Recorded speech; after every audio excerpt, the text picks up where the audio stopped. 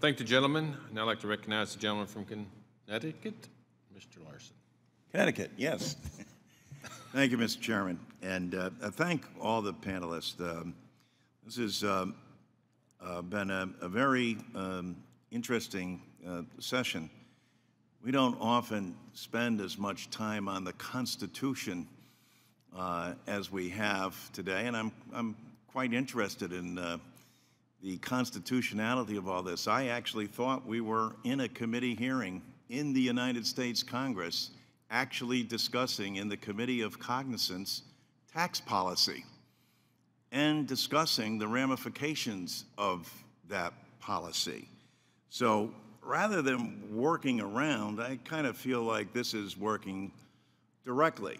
And the way that our system works, four witnesses come with very um, important and well-established, well-researched views on their feelings, and one is a counterbalance to all of that. For those that are listening in on this, that's how the system works. That's how it's supposed to work. So, Mr. Barnes, I had to ask you, especially, uh, you seem to have a difference of opinion about Pillar Two. Number one, do you think that the Constitution is being violated here uh, by the Biden administration or here in Congress? Well, because any tax legislation to enact Pillar Two will necessarily be started in the House Ways and Means, will go to the Senate, will be signed by the President. It will follow our ordinary course of, of constitutional progress for tax legislation at the end of the day. That was my impression, and that's I used to be a, a, history teacher in school, so I thought that we were following the Constitution. You can have constitutional concerns, but we are following the Constitution. Also, there's big disagreement over whether or not the future for this great nation of ours in these joint agreements with more than 50 countries that are participating in this. It seems as though we should be going it alone as opposed to working with other nations in a global economy and in these times where we're in a world that needs to, where we need to be at the table, seated there. And it seems as though we're saying, no, what we need to do is operate alone and by ourselves. That to me sounds an awful lot like isolationism. How are we advantaged by working together with these other nations, Mr. Barnes? Let me, let me take two examples from tax history um, that are not directly Pillar 2. First would be the treatment of corporate bribes. Uh, some of you are familiar with the history. In the 1970s, the U.S. said corporate bribes are bad, they should not be tax deductible. Other countries were, that's an ordinary course, cost of doing business. It took 20 years before some of our major trading partners said bribes are not a good thing. We should make them non-tax deductible and illegal.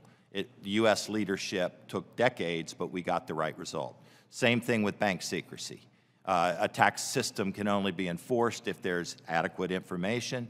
There were countries that said bank secrecy is part of our blood.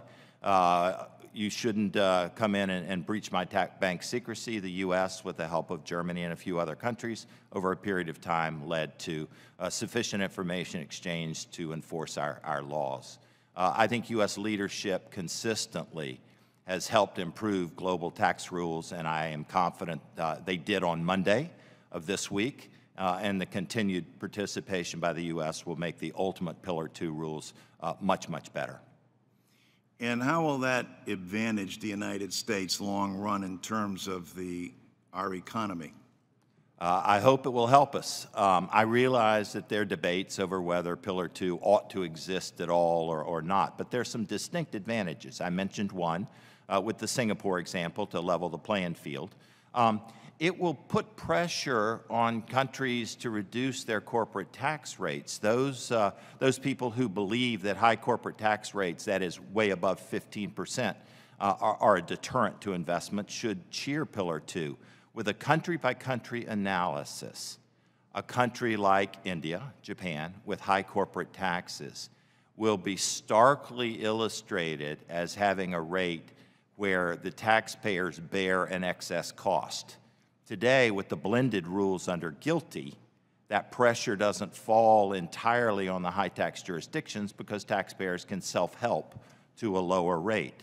Uh, the other advantage for the U.S. is one Michael Plowgen mentioned, which is uh, it will reduce the incentives for U.S. businesses to move offshore. That has an advantage for investment in the U.S., U.S. workers, U.S. jobs. Thank you, sir. Yield back.